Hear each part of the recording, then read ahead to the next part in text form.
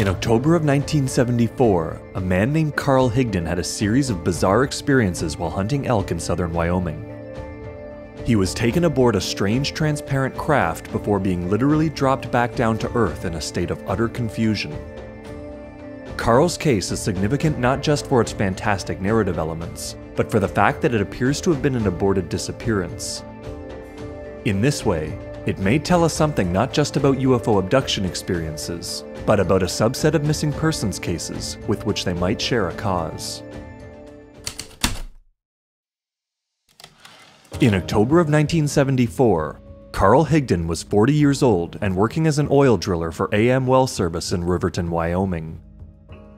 On Friday, October 25th, he had an unexpected day off, so he decided to go elk hunting. He packed his new 7mm Magnum rifle and headed south towards McCarty Canyon, which is around 40 miles or 64 kilometers south of where he lived in the small city of Rawlins. During his drive, Carl pulled over to help two fellow hunters whose pickup wouldn't start. Over coffee, the hunters told Carl that he'd have better luck in the woods. Carl took their advice and headed to the northern edge of Medicine Bow National Forest. He parked his pickup on a hill and had a brief discussion with the game warden, who happened to be there. It was around 4 p.m. when Carl began his hunt. He walked less than a mile into the forest when he arrived at a clearing. He noticed five elk a few hundred feet away, all entirely still. He pointed his rifle at the largest male and pulled the trigger. To his surprise, no sound was made, and the bullet left the barrel in slow motion. It stopped around 50 feet in front of him, seemingly hitting something invisible before dropping into the snow. Strangely, the elk didn't flinch, and Carl noticed that the forest was unnaturally silent. After retrieving the bullet, Carl noticed a large transparent box on the ground that was 5 feet high, 5 feet wide, and 7 feet long. It looked to be made of glass and was empty inside. Sensing something nearby, Carl turned around to find a strange looking humanoid floating upright before him, wearing a black suit similar to that of a scuba diver. Carl estimated the being to be around 6 feet 2 inches tall and 180 pounds. Its skin was like that of an East Asian person, with a face similar to a human's, but with no chin and a severely receded jaw. It had no eyebrows, no ears, and small slanted eyes. Its coarse straw colored hair stood out from its head like bristles on a broom, grouped into small bunches spaced a half inch apart. There were two distinct rods coming from the top of its head that looked to be antennas. The entity was wearing black shoes and a wide belt, with a six pointed star where the buckle would be, and a yellow symbol below it on a type of small apron. Its legs were noticeably bowed outwards. It had no hands, but there was a cone shaped appendage or device sticking out of its right sleeve. Higdon referred to the being as a man, suggesting that it had some male characteristics. The entity moved towards Carl by floating over top of the snow. When it got within a few feet of Higdon, it asked him, Are you hungry? though its lips never moved when it spoke. Carl replied in the positive, then a small envelope or packet of four pills floated towards him, and the entity told Carl to take one. Though Carl was normally extremely reluctant to take pills, he promptly swallowed one as if he were being controlled, as he put it. The entity then asked Carl if he wanted to go with it, and he replied, I might as well. Carl expressed that this latter choice was his own. Having read about UFO encounters in the past, he had previously resolved to go with the UFOnauts should he ever encounter one himself. The entity pointed its cone shaped appendage at Carl, then suddenly he found himself elsewhere. Carl's next memory was of being inside the transparent rectangular box, itself seemingly within a larger transparent structure, both still resting in the forest. Carl was sitting in a type of bucket seat with his arms and head restrained. In the reflection on the glass above him, he could see the five elk standing motionless in a cage. The entity from the forest was in the room, and two more similar beings were also nearby. Carl said, You've got my elk, and one of the beings shrugged. The box lifted off the ground, and Higdon looked down to see his truck where he'd left it, but then the main entity waved its hand and the truck disappeared. Carl's next memory was seeing what he described as a blue ball and a huge marble, seemingly the Earth, in the distance far below him. The beings told Carl that they were going home, which they said was 163,000 light miles away. Then they put a helmet on him that had six wires sticking out in all directions, and fastened a strap under his chin. Next, everything went black before a very bright light came on, causing Carl's eyes to burn and water. Carl was now standing in front of one of the transparent walls of the outermost structure, looking out into a giant featureless space, with no visible walls or ceiling. The light was coming from the top of a tower that he likened to the Space Needle in Seattle, Washington, with lights rotating around the top. Below the tower, he could see several humans, adults and children, in casual discussion. Two entities, one being the one that Carl met in the forest, took him down a long walkway towards the tower. This time, Carl was floating, just like the entities. He was led to a door that lifted up before he was taken inside a large room. While inside, a 4 by 8 foot shield or wall dropped down in front of him, then lifted back up again into the ceiling. One of the entities then approached him and said, You're not what we want. We'll take you back.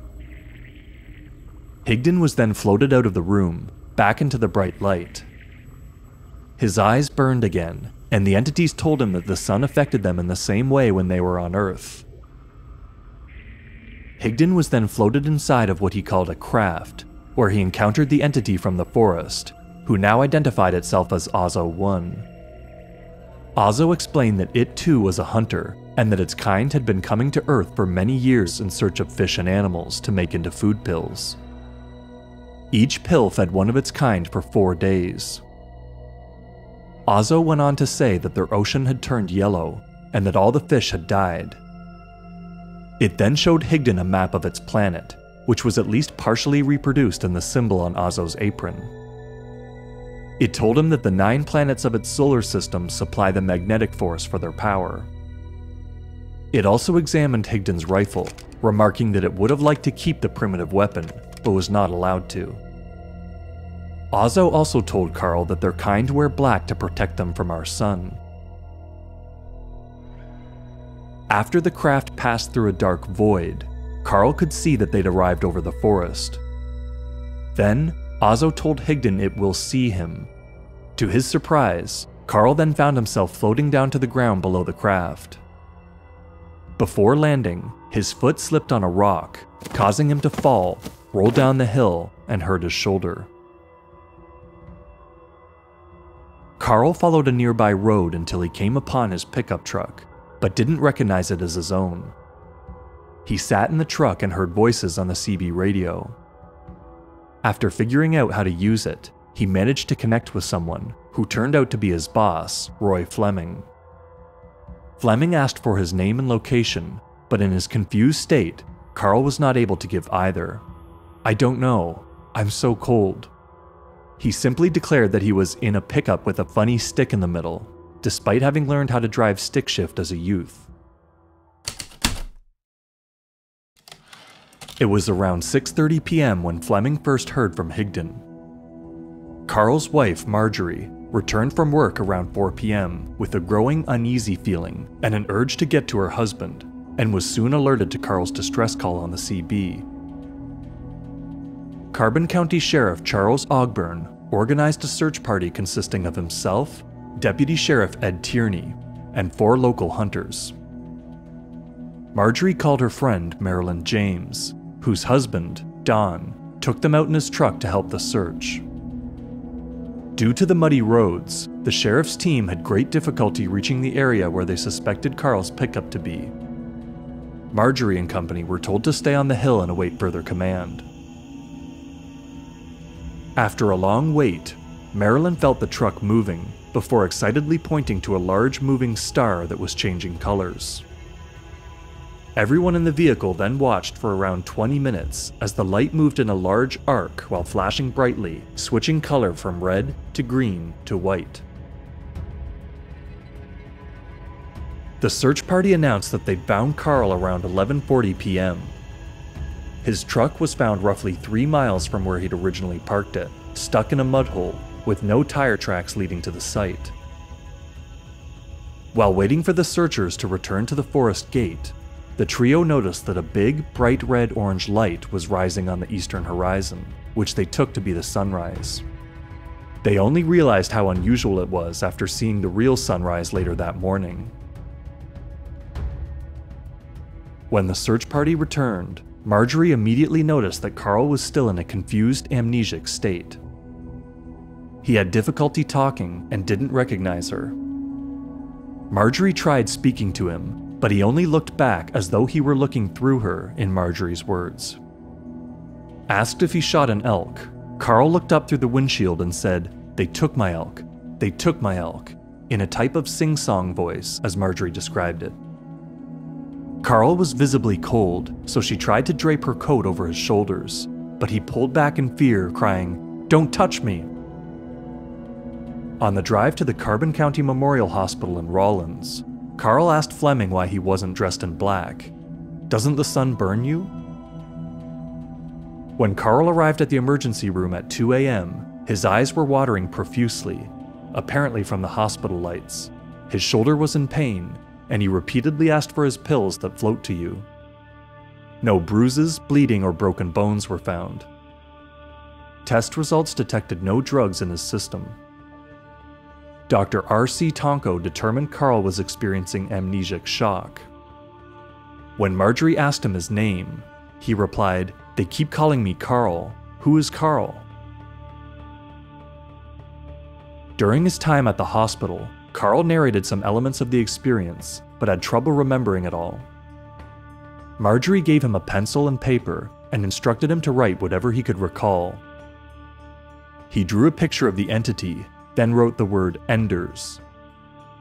The deputy sheriff later revealed that another man named Enders was in a different part of the forest that night. Carl also drew a forked road, a rough sketch of the transparent craft, listed two unidentified addresses, and made another note about a truck. Higdon was released from hospital the morning of Monday, October 28th. The results of the x-rays performed by Dr. Tonko found nothing of concern, even though Carl had x-rays taken years before the incident that showed scar tissue on his lungs from a past case of tuberculosis. Carl also had several kidney stones before his experience, but none after. Still, days after being rescued, he experienced headaches and a pain in his back. When Carl spoke to Sue Taylor, a reporter for the Daily Times of Rawlins, he was still very much mystified by his experience, confessing that he must be crazy. Taylor's article, the first on the case, appeared on Tuesday, October 29th. Fleming put Carl in touch with a local rehabilitation counselor, who in turn suggested that he speak with Dr. Leo Sprinkle, a psychologist at the University of Wyoming who is interested in UFO experiences. On November 2nd, Dr. Sprinkle drove to Carl's home for the first of several regressive hypnosis sessions. Higdon was able to put more pieces of the experience together, and Sprinkle invited a local art teacher to make a drawing of Ozo 1. Dr. Sprinkle went on to meet with Marilyn James, Sheriff Ogburn, Dr. Tonko, Carl's nurse at the hospital, some members of the search party, and several locals. Those who knew Carl said that they considered him honest and hardworking. Psychological and psychiatric tests at the University of Wyoming revealed no signs of mental illness. One evening, Carl suggested to Marjorie that they go out for a drive with their son. Carl drove a few miles south of town, taking a dirt road up a hill, seemingly knowing where he was going. Over 150 feet in the sky above them, the family saw a bright green light shaped like a large upside down ice cream cone, and smelled a terrible odor of dirty socks and sulfur. Dismayed, Carl then announced, I am late. I was to be here a few minutes earlier. A few nights later, Carl woke Marjorie and said, I know it is weird. I am in bed with you, yet I am out south of town. They are telling me, look for a black box. He felt that they were telling him that they could contact him whenever they wanted to. This made Carl quite distressed and triggered his shoulder pain. Numerous times on Carl's drive to and from work, he was followed by lights in the sky that others saw as well, and both Carl and Marjorie felt that their phone was tapped. Carl claims that he still has telepathic communication with Ozo on rare occasion. For example, Carl once told Ozo that Rawlins needed some rain. The next day, it rained 3 inches, then another 2 inches the following day, before he told Ozo to stop and the rain ceased. Higdon speculated that before shooting his rifle on the day of the incident, he had entered some type of force field that slowed his bullet down. At one point, Carl, along with Don, Marilyn, and others, returned to the location of the incident to take pictures and scan for metal, seeking in vain to find the missing lead of the bullet. At the spot where the transparent box had sat, they noticed that nearby leaves were burnt, and some trees in the area had strange weathered carvings. The bullet was examined by investigators led by Dr. Walter Walker, a metallurgy consultant for the Aerial Phenomena Research Organization, or APRO. Walker could only conclude that it hit something hard to turn it inside out. The bullet was also later examined by a metallurgist at the University of Wyoming. Sometime after, the bullet disappeared from the university's safe. The TV crew for the show In Search of visited Rawlins, as did a Japanese film crew. The National Enquirer also arranged for Carl to take a polygraph test, which he passed, the first of several. Marjorie said that she was compelled to write Carl's story decades prior to self publishing the narrative in 2017, under the title Alien Abduction of the Wyoming Hunter. In 2022, David Paulides made one of several documentaries about people going missing in unusual circumstances. Paulides conducted new interviews with Carl and his wife, and compared the case's similarities to other disappearances in the same region. Paulides noted the significance of Higdon being dropped at the end of the incident. This is consistent with hundreds of cases of unusual deaths that he investigated, where the recovered body appeared to be dropped from above. The fact that there were apparently no tracks leading up to the muddy spot where Carl's pickup was recovered suggests that it was dropped as well. Researchers such as Linda Moulton Howe have documented that many cases of animal mutilation involve carcasses with broken legs, no surrounding tracks, and impacted soil, suggesting that they too were dropped. Carl believes that some type of medical examination occurred when the shield or wall dropped in front of him, and that he somehow failed the test. While Carl initially speculated that he was rejected due to the effects of the light on his eyes, he later suggested that it was due to his vasectomy. The fact that Carl apparently healed from his lung scarring and his kidney stones is also significant. Preston Dennett has compiled over 300 cases involving spontaneous healing connected to a UFO or entity encounter. Dennett concludes that the beings in these encounters are advanced extraterrestrials, neither benevolent nor evil, healing people for reasons beyond just testing and experimentation. There was a disappearance in the same forest that Carl was abducted from almost exactly 35 years later, Mark Anthony Strittmatter had 15 years' experience hunting in the region at the time he disappeared on October 19, 2019. Similar to Higdon, the spot Mark disappeared from happened to be an area he'd never hunted in before. Interestingly, at the conclusion of a previous hunt, Mark saw a black UFO that followed him for a time. Like Higdon and many other missing persons, Mark was of German ethnicity, but never had a vasectomy. Ufologist Jacques Vallée has noted that many historical encounters with fairies, elves, and other mythical creatures involve the experiencer being offered some type of food. In several such cases, people who cooperate with the fairy folk are rewarded with an inexhaustible food supply. At the same time, Irish tradition holds that if you take food from the fairy world, you become a fairy yourself and never return to the mortal realm. There are many other UFO related entity encounters on record that involve the beings floating over the ground or otherwise moving about in a very unusual way. For example, the creatures that emerged from the craft at Pascagoula, Mississippi floated out of their craft, and the so called goblins at Kelly Hopkinsville hovered over the ground by swaying their hips back and forth. Another unusual detail is the fact that Ozo measured the distance from his planet to Earth in light miles, rather than light years. Many UFO abduction experiences contain absurd elements like this. For example, the Italian abductee Pier Fortunato Zamfretta claimed that giant gilled aliens told him that they came from the third galaxy, an extremely simplistic and astronomically meaningless description. Reading Higdon's account, it is easy to infer that he was meant to be taken away forever, but was unexpectedly rejected.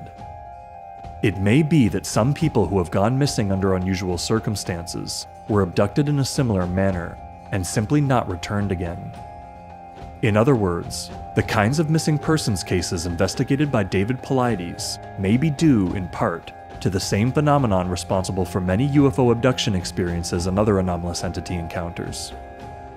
Whatever reason his abductors had for rejecting Carl, it may very well have saved his life.